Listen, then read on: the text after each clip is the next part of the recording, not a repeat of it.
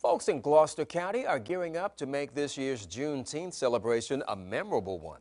At least two big events are planned. Promoter Ray Friend is hosting one event. It's a two-day uh, weekend celebration to commemorate Juneteenth at the new Flatiron Crossroads Entertainment Center. In case you didn't know, Juneteenth is a celebration of the Emancipation Proclamation, which in January of 1863 freed enslaved people in the United States. Problem was authorities in Texas didn't tell the slaves until two years later. Celebrations around the nation mark the occasion every June, and one of the events in Gloucester will be held at Flatiron Crossroads Outdoor Theater on June 19th and 20th.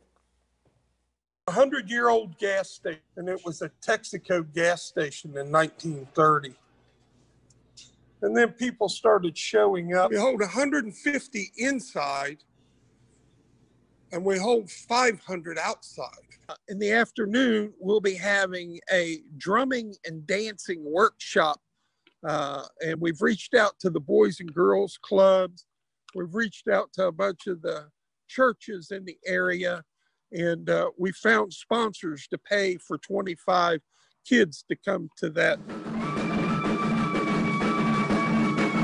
Then we'll round up the evening on June 19th with Wamba Africa giving a performance.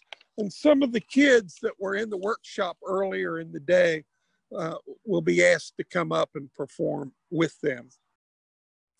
The keynote speaker for this two-day celebration of Juneteenth in Gloucester will be Dr. Katrina Brown of Bethel Baptist Church. This is a ticketed event. The organization is nonprofit. And to find out more, just log on to wavy.com.